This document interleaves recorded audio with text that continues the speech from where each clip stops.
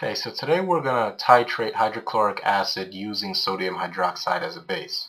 Now, first thing we're going to need is hydrochloric acid, which can be bought at your local hardware store in the paint section under the name muriatic acid. Now, this stuff is extremely toxic and poisonous. Do not use this unless you know the exact safety procedures required.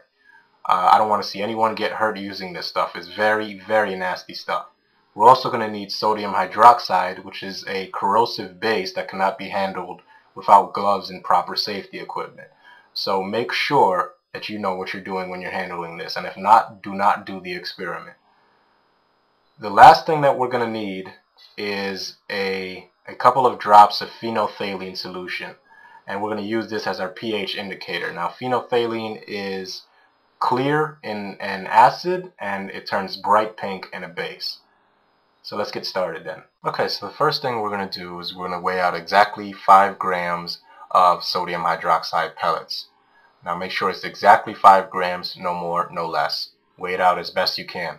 Then we're going to transfer it to what's called a volumetric flask. And the purpose of doing this is two things. It allows us to add water when we're going to dissolve this incrementally and to know exactly after we dissolve the sodium hydroxide pellets in water how much we have to dilute it to to get exactly 100 milliliters of sodium hydroxide solution. Uh, so basically, uh, just transfer all of the sodium hydroxide pellets into this volumetric flask here. And if you don't have a volumetric flask, um, you can just dilute it with 100 milliliters of water. It'll be a little less uh, accurate, the concentration, but it'll still work for our purposes. So once you've transferred it completely to the volumetric flask, add just enough water to completely cover the sodium hydroxide pellets and the purpose were and the purpose of adding water in incremental amounts is so that the sodium hydroxide can dissolve fully which is going to release a lot of heat so we can't just pour a bunch of water in there. Just pour enough to dissolve the pellets and just when the water's in there just start shaking it um, swirling it so that it, the sodium hydroxide pellets dissolve. Now, this is very important because if you have undissolved solute, which is our sodium hydroxide, um, then the solvent isn't going to be, I'm sorry, the solution isn't going to be the right concentration. The way we're diluting this is going to give us what we call in chemistry exactly 0.125 molar solution of sodium hydroxide. Now what you have to do after it's dissolved is dilute it to that mark I just showed you and then um, fill it all the way up with water and once you have it to that mark you know that you have exactly 100 milliliters of 0.125 molar sodium hydroxide solution. Put that aside and better or better yet pour that into a, a uh, graduated cylinder. After that you're going to get your muriatic or hydrochloric acid and you're going to pour that uh, about halfway into a 25 milliliter beaker. Uh, now remember this is very nasty stuff um, which can lead to uh, burns, third degree burns and even respiratory problems and even death. So once again, be extremely careful when handling hydrochloric acid. It's very nasty stuff, and uh, you know, just just be extremely careful. I don't want to see anybody get hurt using this stuff. You're going to then take a 100 milliliter beaker. I'm sorry, a beaker filled with 100 milliliters of water, and you're going to drop exactly one milliliter of hydrochloric acid into uh, that those 100 milliliters of water. Now my dropper has a 1 milliliter mark, so I knew exactly how much to drop in there. Um, as soon as you get that, that hydrochloric acid in there, you're just going to give it a, a good stir so that it mixes and just make sure you stir it thoroughly. You're going to uh, put it on a magnetic stir as I'm showing here. And basically what a magnetic stirrer does is it has a magnetic pill that it moves in the uh, liquid which which uh, provides stirring when you're not able to stir it yourself.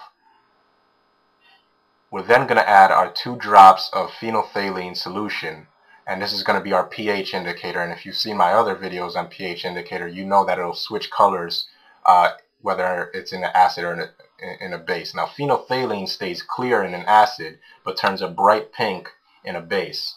So once we add the phenolphthalein drops, we turn on the magnetic stirrer so that everything mixes. Um, and as soon as we do that, we're going to then take the sodium hydroxide 0.125 molar solution that we we uh, made earlier and we're going to pour some into a beaker and that's what we're going to use to titrate this and by titrating I mean basically the we're going to use the sodium hydroxide to neutralize the hydrochloric acid causing the color change. And remember that after you pour it into the beaker and titrate this pour the excess back into the graduated cylinder so you know exactly what volume you used. Now here we're going to uh, start adding the sodium hydroxide and you're going to see a color change right about there but it's going to disappear you can see it's turning a little pink there. It's going to disappear because the neutralization reaction hasn't completely occurred. You're going to see that again here. You see it turned pink but it disappeared. But now it lasted a little longer which means we're closer to the neutralization.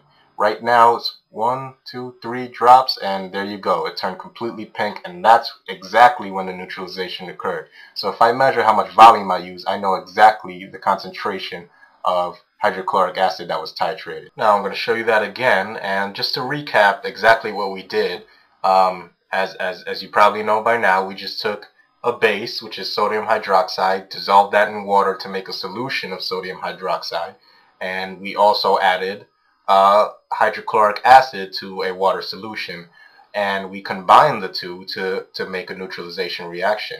Now basically what happens when you can combine sodium hydroxide with hydrochloric acid is what happens in any uh, acid-base neutralization reaction where you get uh, a salt, which in this case is um, sodium chloride, which is just ordinary table salt, and you get uh, water. So that, that's, that's basically the products of this chemical reaction here. It's just regular table salt and water.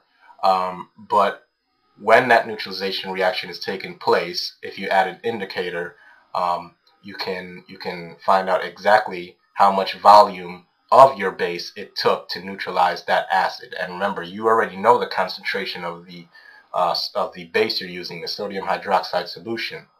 Uh, you know that you added 5 grams of it to 100 milliliters of water, giving you, uh, if you do the calculations, and if people, if, if enough people request it, I'll make the video, I'll make a video doing all the calculations and showing you how to do so.